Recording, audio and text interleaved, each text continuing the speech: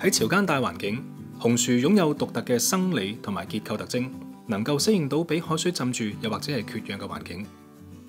紅樹林為好多海洋同埋沿岸生物提供咗食物、棲息地同埋育幼嘅場所。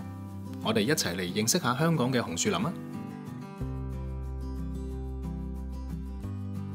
木欖長有長而尖嘅葉片，而佢紅色嘅花萼同埋雪茄狀嘅胎生苗，令佢好容易同其他紅樹區分。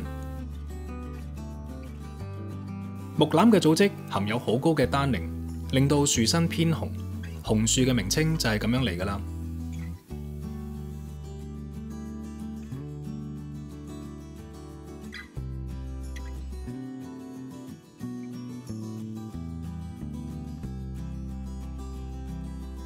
同花樹嘅葉擁有鹽腺，能夠排出體內過多嘅鹽分。辨认嘅時候，除咗留意葉形之外，亦都可以留意下葉面上白色嘅鹽粒。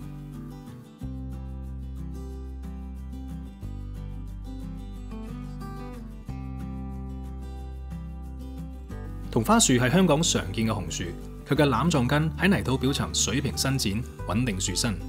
而膝根同埋支柱根令到同花樹可以喺水漲嘅時候仍然能夠保持呼吸。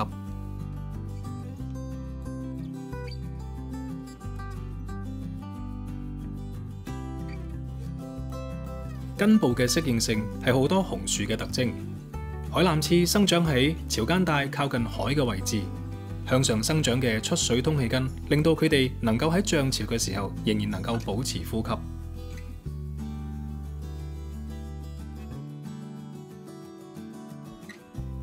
环境同生物息息相关，等我哋一齐细心观察大自然，认识生物嘅故事啊！